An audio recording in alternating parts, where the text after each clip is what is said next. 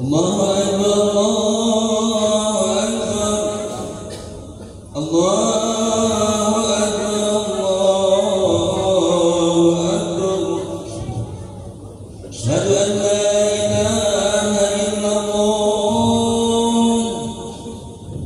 أشهد أن لا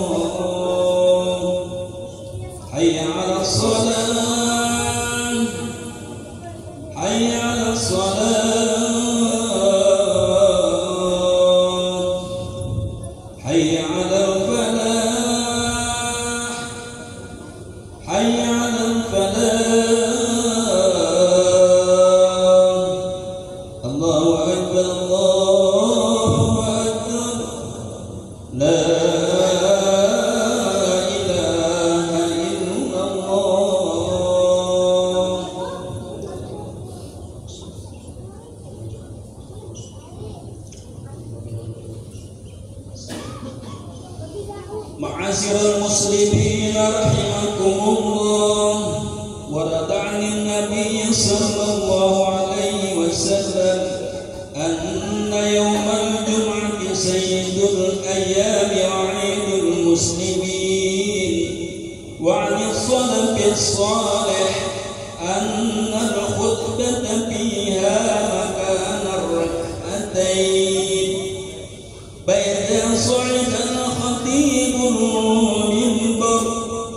وشرع في الخطبة فلا يتكلمن أحدكم فقد ورد أن رسول الله فقد ورد أن رسول الله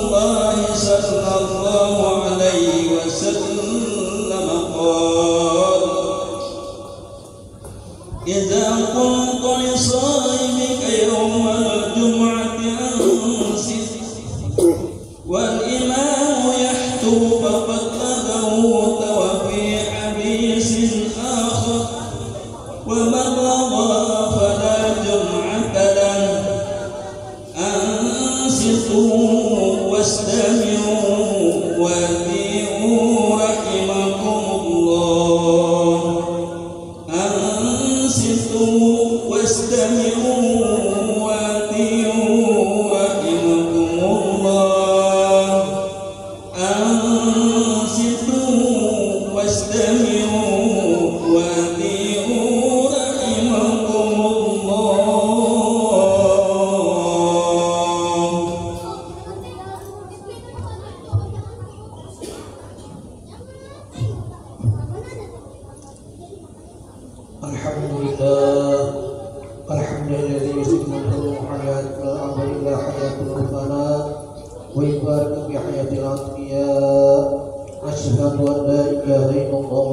شريك له.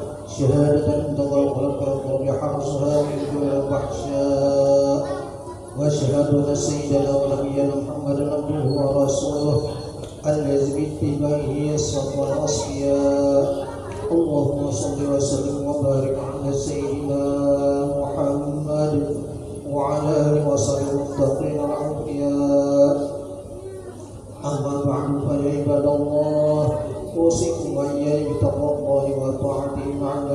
muflihun kaum muslimin jemaah yang berbahagia. Meredakan perkembangan Islam yang menyuruh umat Islam bertanya terhadap kepentingan dunia dan kepentingan akhirat. Tetapi ternyata dia telah miris dan bersebelah bergantung kepada sebagian saja. Tidak lagi sengagara dan tidak seimbang. Pindiknya tidak sudah mati lagi. Berbagai kepada telah bangun sebagian kaum muslimin sudah merusak neraca pertinggalannya sudah lebih banyak mereka mementingkan perkara dunia daripada kepentingan agama. Siang malam pikiran dan usahanya sudah dipengaruhi oleh perkara kebandaan adapun perkara kepentingan agama hanya terlintas saja di hatinya dan berlalu dengan cepatnya seperti kilat dan angin tidak menjadi perhatiannya tidak menjadi tujuan hidupnya lagi dengan ini nyata bahwa usaha Syaitan telah berhasil dalam pengaruh sebagai agama Islam supaya menyusuri perkara agama namun dipalingkan perhatian kepada perkara kebandaan bahaya inilah yang dikhawatirkan oleh junjungan kita Nabi Sallallahu Alaihi Wasallam atas umatnya. Yakni bahaya pengaruh kegandaan.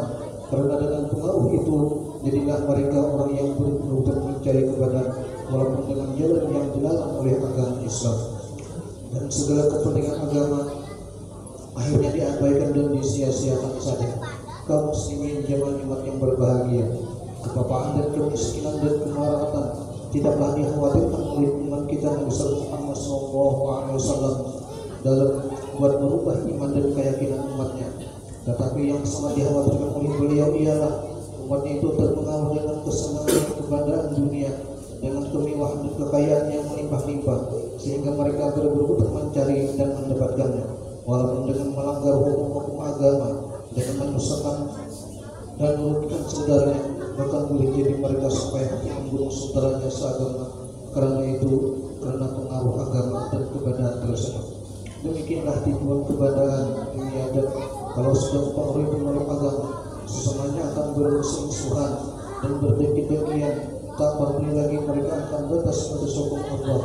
Tak dihiraukan lagi halal dan semua dilanggar dan semua akan batalkan saja kesadaran itu mereka dapat kemenangan kesenangan dunia.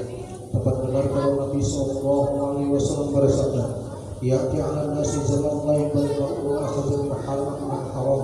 Fa izza kana tujuh lahum da'watun. Rawahu Bukhari wa Nasai. Artinya selagi akan datang kepada manusia satu masa yang seseorang tidak memperdulikan apa-apa yang diambilnya apakah dari yang halal atau yang haram itu tidaklah diperkenankan doa-doa mereka. Kaum muslimin zaman yang berbahagia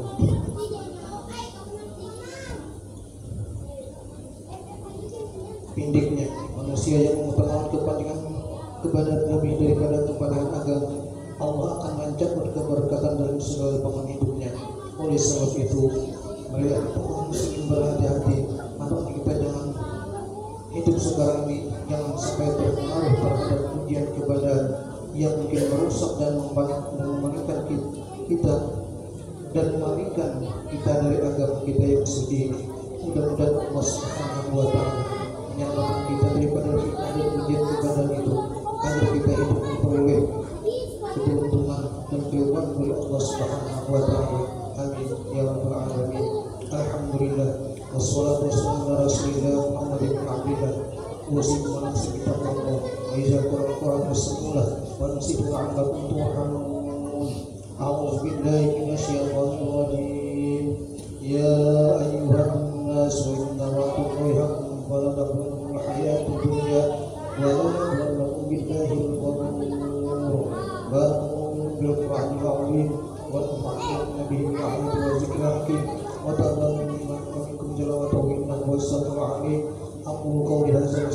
واستغفر الله لي ولكم ولسائر المسلمين والمسلمات والمؤمنين والمؤمنات فاستغفروه إنه هو الغفور الرحيم اللهم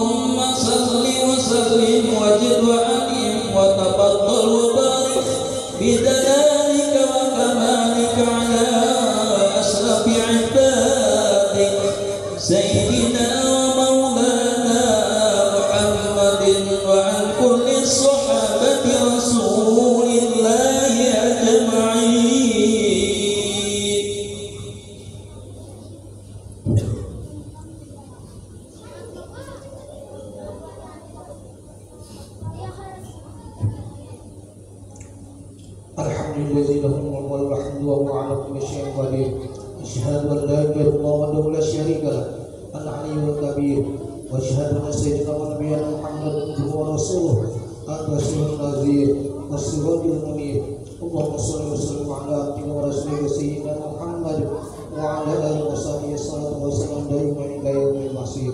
أما بعد فيا أيها البائك أما بعد فيا الله أوصيكم وإياكم بتقوى الله تعالى لعلكم تفلحون قال الله تعالى إن الله وملائكته يصلون على النبي يا أيها الذين آمنوا صلوا عليه وسلموا تسليما اللهم صل وسلم على سيدنا صلاة وسلم على سيدنا إبراهيم وعلى آل سيدنا إبراهيم في العالمين إنك حميد مجيد اللهم اللهم اللهم وارض عن الخلفاء الراشدين ابي بكر وعثمان وعلي وعلى صائر الصحابه والتابعين وعنهم برحمتك يا ارحم الراحمين اللهم اعز الاسلام والمسلمين واعزل الشرك والمشركين ودمر اعداء الدين اللهم اغفر للمسلمين والمسلمات والمؤمنين والمؤمنات الاحياء منهم والاموات انك سميع قريب مجيب الدعوات يا قاضي الحاجات ربنا اتنا في الدنيا حسنه وفي الاخره حسنه وقنا عذاب النار عباد الله ان الله يؤمن يصلي